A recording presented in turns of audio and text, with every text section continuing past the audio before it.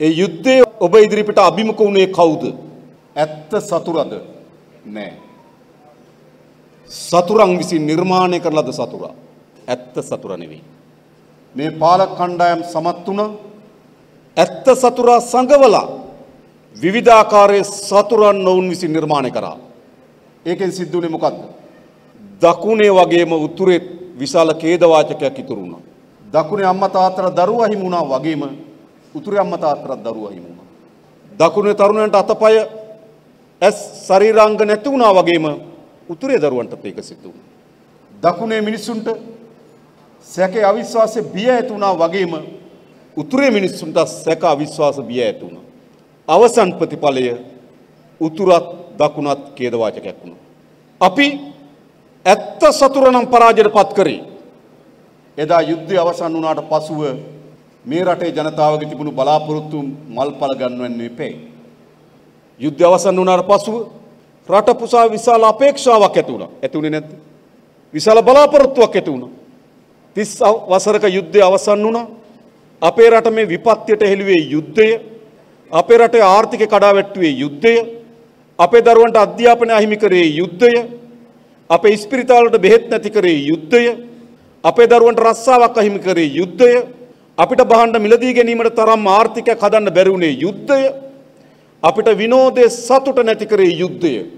එහෙමනම් යුද්ධය අවසන් වුණාම ඒ ඔක්කොම හරියන්න ඕන.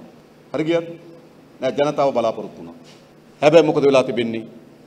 අපි පරාද කරලා තිබෙන්නේ ඇත්ත සතුරා විස නෙවෙයි සතුරා විසින් නිර්මාණය කළ ලද සතුරා.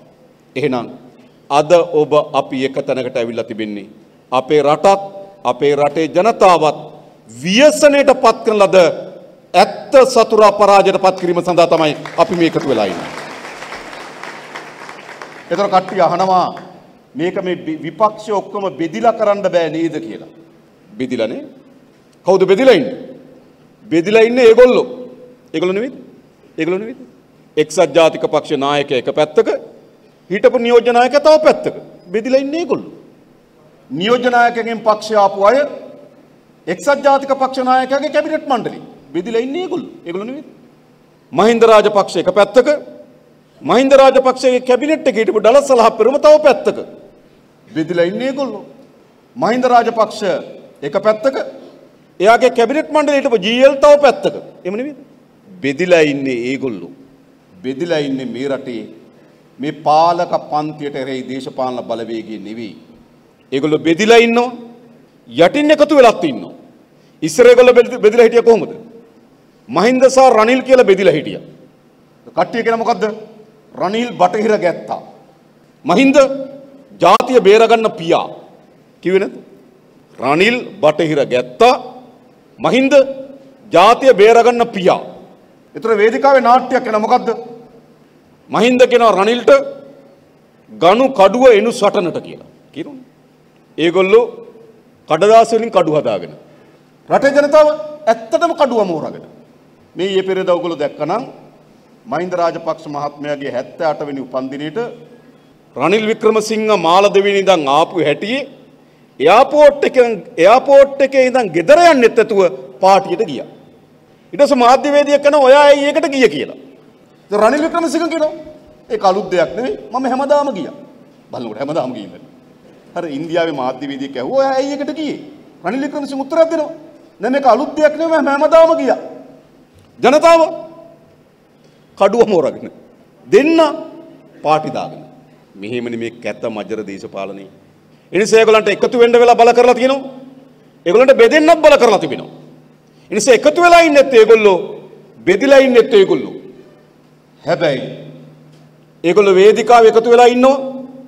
ඒගොල්ලෝ පාර්ලිමේන්තුවේ බෙදිලා ඉන්නවා. හැබැයි මේ රටේ ජනතාව ජාතික ජන බලවේගයත් එක්ක එකතු වෙමින් ඉන්නවා ගොඩනැගෙමින් තිබෙනවා මොකක් වෙනුවෙන්ද?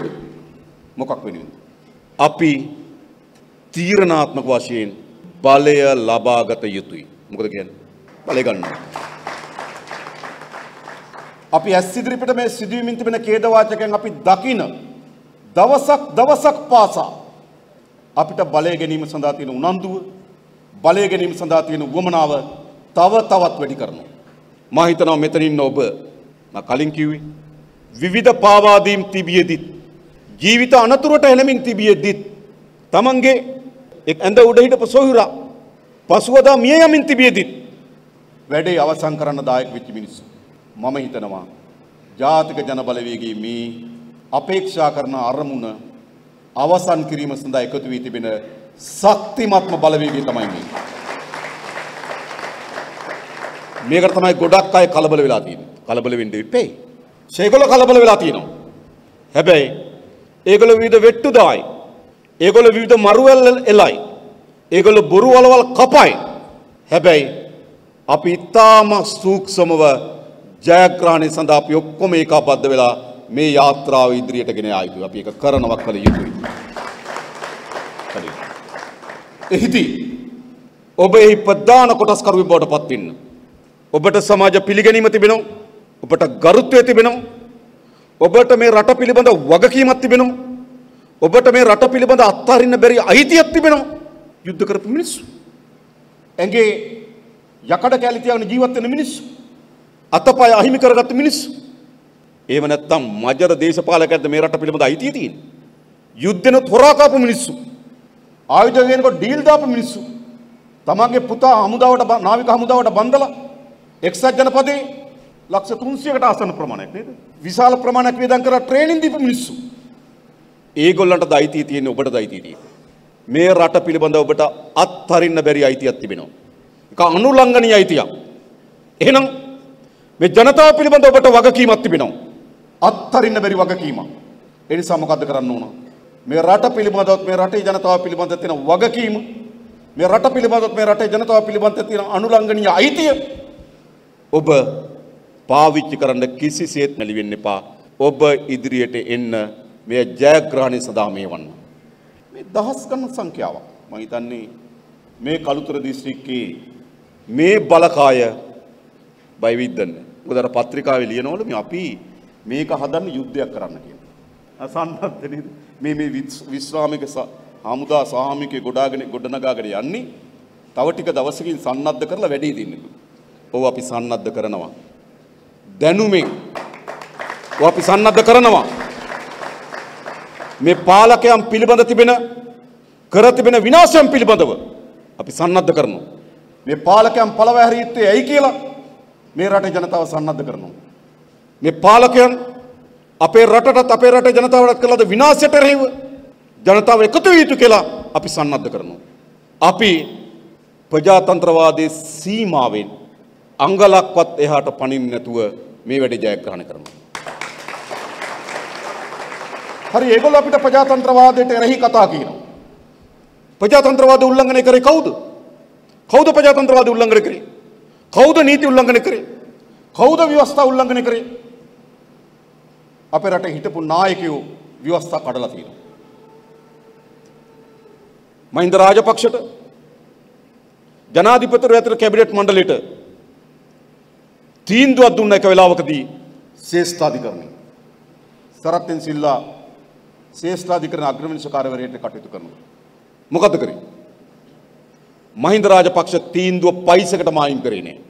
එයාගේ කැබිනට් මණ්ඩලයේ තී රැස්වීමක් කරගෙන කිව්වා අපි තීන්දුව ගණන් ගන්න නැහැ කිව්වා. එහෙනම් ව්‍යවස්ථාව කඩුවේ කවුද? මහින්ද. මෛත්‍රීපාල සිරිසේනට ශ්‍රේෂ්ඨාධිකරණ තීන්දුව දෙකකින් ව්‍යවස්ථාව කඩපු බවට තීන්දුව වෙලා තිබෙනවා. එකක් පාර්ලිමේන්තු විසිරු හැරීම. තමන්ට නැති බලයක් උපයෝගී කරගෙන මෛත්‍රීපාල සිරිසේන පාර්ලිමේන්තු විසිරු හැරීම. ශ්‍රේෂ්ඨාධිකරණේ විනිසුරුවන් හත් දෙනෙකින් යුතු මඩුල්ලක් තීන්දුවක් දුන්නා මෛත්‍රී ව්‍යවස්ථාව කැඩුවා කියලා. නම් ව්‍යවස්ථාව කැඩුවේ ඒ ජනාධිපති. ඊට මෑතකදී ශ්‍රේෂ්ඨාධිකරණ අප මූලික අයිතිවාසිකම් පිළිබඳ නඩුවකදී ව්‍යවස්ථාවෙන් ජනාධිපතිවරයාට පැවරී තිබෙන වගකීම වගකීමට වග නොවීම පිළිබඳව තීන්දුවක් දුන්නා. ව්‍යවස්ථාව කැඩුවේ මෛත්‍රීපාල සිරිසේන. ව්‍යවස්ථාව කැඩුවේ ජනාධිපති ගෝඨාභය රාජපක්ෂ. කැඩුවේ නැද්ද? ව්‍යවස්ථාව කැඩුව ගෝඨාභය රාජපක්ෂ. 2020 පාර්ලිමේන්තුවේ මුදල් වෙන් කරේ නෑ. පාර්ලිමේන්තුවේ මුදල් වෙන් කරලා තිබුණේ 2020 අප්‍රේල් මාසේ 30 දක්වා විතරයි. අප්‍රේල් මාසෙ 30 වෙනිදාගෙන් පස්සේ මොකද අපේ රටේ මූල්‍ය බලය තිබෙන පාර්ලිමේන්තුවට 2020 අප්‍රේල් මාසෙ 30 වෙනිදාගෙන් පස්සේ ගෝඨාභය රාජ ආණ්ඩුවට මුදල් වෙන් කරලා තිබුණේ නැහැ. හැබැයි ගෝඨාභය රාජපක්ෂ බහණ්ඩාගාරින් සල්ලි වියදම් කරා. විවස්ථාව කැඩුවේ එයා. ශ්‍රේෂ්ඨාධිකරණය මූලික අයිතිවාසිකම් නඩුවකදී රටත් රටේ ජනතාව පිළිබඳ වගවීම අත්තරීම පිළිබඳව ආර්ථික අපරාධය සිදු කිරීම පිළිබඳව ගෝඨාභය මහින්ද බැසිල් වර්ධකරුවලයා තිබුණා. විවස්ථා කරලා තියෙන ඒගොල්ලෝ රනිල් වික්‍රමසිංහ නියමිත පරිදි පවත්වන්න ඕන පළාත් පාලන මැතිවරණය තියන්නේ නැහැ. ප්‍රජාතන්ත්‍රවාදය කඩන්නේ ඒගොල්ලෝ. මත තියාගන්න. දැන් ඔය විවස්ථාව රකින්න ඕනයි කියලා නේද?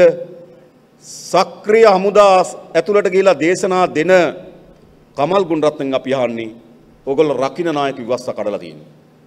රනිල් වික්‍රමසිංහ මැතිවරණ කොමිසමට බල කරලා ඡන්ද පැවැත්වීම අත්විටෙව්වා.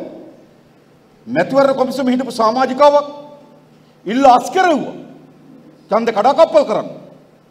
ඉල්ල අස්කරෙව්වට පස්සේ මාස දෙක තුනකින් මැතිවරණ කොමිසම හිටපු සමාජිකාව උතුරේ ආණ්ඩුකාරවරිය කරා. සන්තෝසම්. කවුද ව්‍යවස්ථා කඩන්නේ? මුදල් බලය තිබෙන පාර්ලිමේන්තුවට. පහුගිය මේ වසරේ මැතිවරණයක් සඳහා පාර්ලිමේන්තුවේ මුදල් වෙන් කරලා තිබ්බා. හැබැයි රනිල් වික්‍රමසිංහ මුදල් අමාත්‍යාංශ ලේකම්වරයාට කිව්වා සල්ලි දෙන්න එපා කියලා. ව්‍යවස්ථා කඩන කවුද? ඒගොල්ලෝ. එනිසා මේ නායක ව්‍යවස්ථා කඩනවා. ව්‍යවස්ථා කඩනවා විතරක් නෙවෙයි. ජනතාවගේ අයිතිවාසිකම් උදුරා ගැනීම සඳහා නීති සම්පාදනය කරනවා. මේගොල්ලෝ අපිද විවස්ථා කඩන්න ජනතාවගේ මූලික අයිතිවාසිකම් උල්ලංඝනය කරන්න නීති සම්පාදනය කරන්න.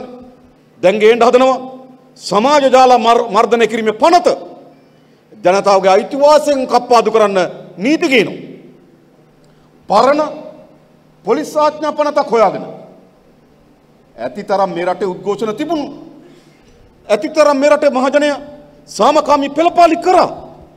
කඩකප්පල්කාරි වෙනවනම්? හා. බෑ සාමකාමී පෙළපාලි කරා. හැබැයි අද මොකද වෙලා තියෙන්නේ? පැරණි පොලිස් ආඥා පනතේ වගන්තියක් හොයාගෙන පාරට එනකොට ගහනවා. ජනතාවගේ අයිතිවාසිකම් කඩන්නේ ඒගොල්ලෝ.